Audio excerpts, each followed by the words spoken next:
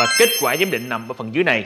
Vàng hồng 18K ghi rất rõ là 637 viên kim cương. Toàn bộ phần gốm này, gốm ngay chữ V tu này, phần hai bên đường viền này đều được kỳ lăng loại bỏ ra và thay thế bằng vàng nguyên khối đến kim cương để ráp vào.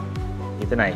Từ một chiếc điện thoại đẹp sang đủ đẳng cấp đủ sang trọng rồi và trở nên long lanh, lộng lẫy, lấp lánh hơn rất nhiều vì những bộ phận phía sau này kỳ lân đã thay thế bằng vàng và kim cương. Đây là vàng nguyên khối ao 750 vàng nguyên khối không bọt, không xốp. Với sự ánh bóng sáng từ vàng hồng chuẩn hội ngoại này, với những viên kim cương hột xoàn thiên nhiên tuyển chọn và kỹ thuật máy móc chuyên nghiệp để chia ổ cháo hột cũng như là kỹ thuật chuyên sâu của thợ câu cấp kỳ lân luxury nhận hột cũng như là kỹ thuật làm sạch bề mặt đáy để cho những viên kim cương tỏa sáng lấp lánh một cách rực rỡ nhất. Và cặp điện thoại này là dành cho một cặp vợ chồng xài điện thoại đôi với nhau. Anh xài điện thoại gì thì em xài điện thoại đó. Và anh xài Vertu em cũng xài Vertu và anh xài Vertu có đính vàng và kim cương em cũng xài Vertu có vàng và kim cương. Và đây là một minh chứng một cặp điện thoại Vertu cảm ứng Iron Flip nắp gập hạng sang.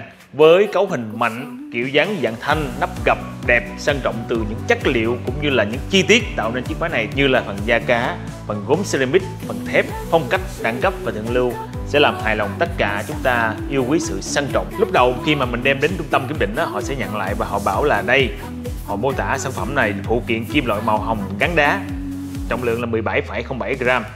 Và kết quả giám định nằm ở phần dưới này vàng hồng 18K và ghi rất rõ là 637 viên kim cương kiểu kim cương tròn và từ 0.6 ly đến 1 ly 3 very